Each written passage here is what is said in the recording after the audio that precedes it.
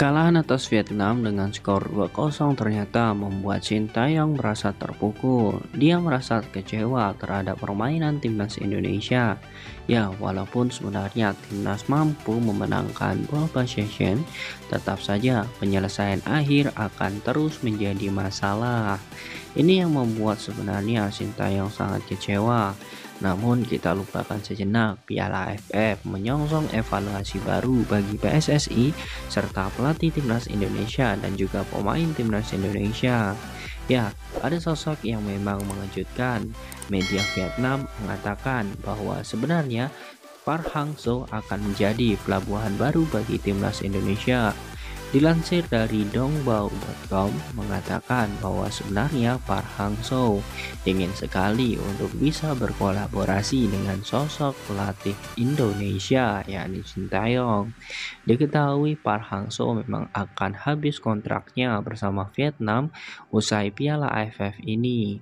Ya, walaupun beberapa laga terakhir kedua pelatih ini menunjukkan kepanasannya dalam berhubungan antar komunikasi tetapi mereka sebenarnya adalah adik kakak yang baik. Ini dibuktikan dari beberapa ciutan dari Par Hangso.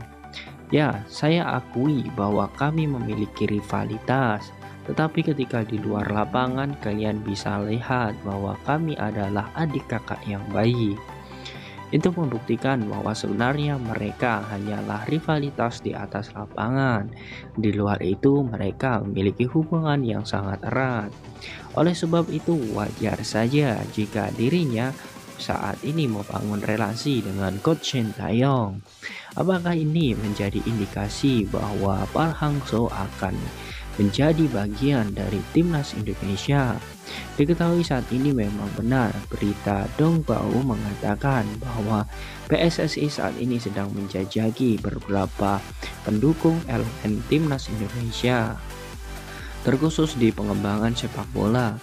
Hal ini dikhususkan untuk direktur teknik yang ingin membantu Indra Safrianti. Oleh sebab itu, wajar jika Park Hang-seo menjadi salah satu calon dari pelatih timnas Indonesia. Ya, ini menjadi hal bagus. Kita tunggu saja. Semoga Park bisa berkolaborasi dengan Coach Shin Taeyong untuk timnas Indonesia lebih prestasi. Kontrak Park Hang-seo memang sudah habis, kemudian digadang-gadang ke Korea Selatan juga tidak menemui titik terang di timnas U23. Lantas bagaimana menurut kalian apakah kalian setuju jika Park Hang-seo bergabung bersama timnas Indonesia dan berkolaborasi bersama Shin Tae-yong? Silahkan kalian tulis di kolom komentar.